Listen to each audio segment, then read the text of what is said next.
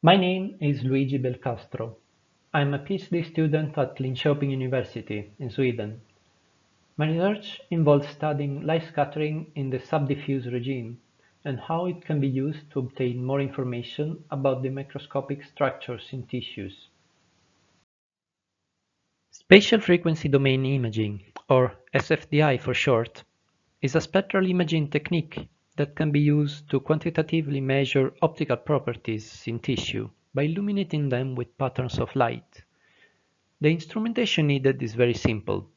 A digital projector is used to shine sinusoidal patterns on the tissue, and a sensor, like a CMOS camera, is used to measure the reflectance of the tissue.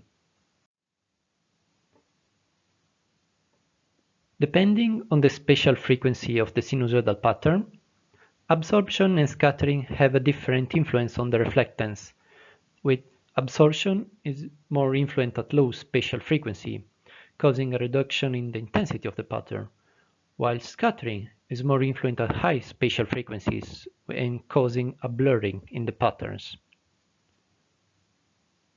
By performing measurement at multiple spatial frequencies and utilizing a model of light transport, it is possible to separate the effects of the two optical properties and obtain this way a 2D map of absorption and scattering.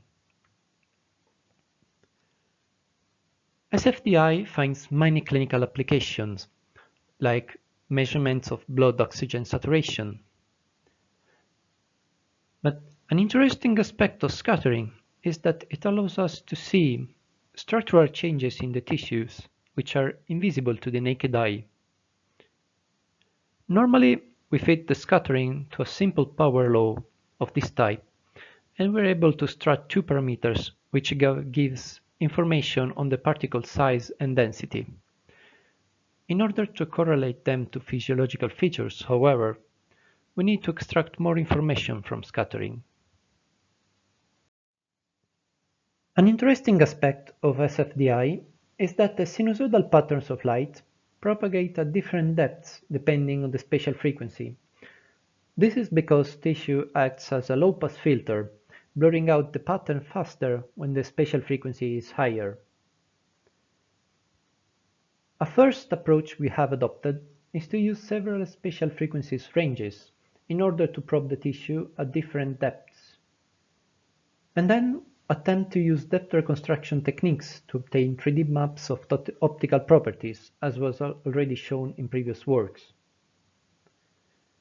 A second approach we adopt then is to perform measurement at different angles to study what is the angular influence on their diffuse reflectance and if it is possible to use this method to obtain information about the tissue layers and the orientation of the scattering particles.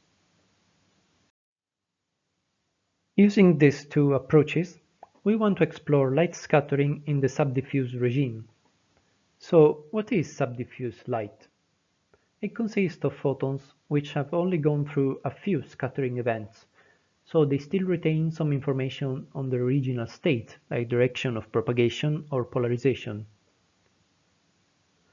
From the Mie theory, we can see that the phase function of a photon scattered by a single particle is quite complex. Normally, we only use a simple first-order approximation, like the Henyey-Greenstein phase function. And this is an acceptable approximation when we are dealing with millions of scattered photons. However, more details could be extracted by using more complex higher-order models, which can better describe the propagation of subdiffuse scattered photons.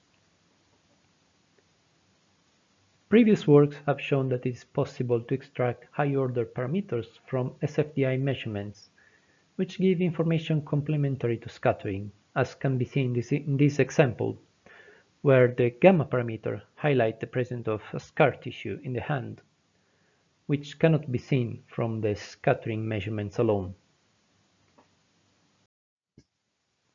Here we can see the results from a preliminary study we have conducted Ex vivo tissue samples with burn wounds have been treated with a stem cell-based therapy. The tissue was imaged at three increasing spatial frequency ranges in order to sample different volumes. and the scattering spectra were measured. We can see that in the control sample, the all three signals are almost the same, which will suggest that the tissue should be quite homogeneous, and this is also confirmed by the histology figure on the right. In the treated sample instead, the three signals have different scattering slopes, which will suggest the presence of a different layer of tissue. And from the histology, we can see the growth of a new layer of collagen, which would influence the scattering properties of the sample. To sum up, scattering is a great and little explored source of contrast for structural changes in tissue due to wound healing. We can measure scattering using SFDI, and this measurement can be also be depth sensitive by using different spatial frequencies. We also investigate methods to detect subdiffuse scattered photons because they can provide us additional information about microscopical structures in tissue. So, in conclusion, subdiffuse SFDI is a promising non-invasive technique and could be easily employed in clinic as a diagnostic tool for wound healing application.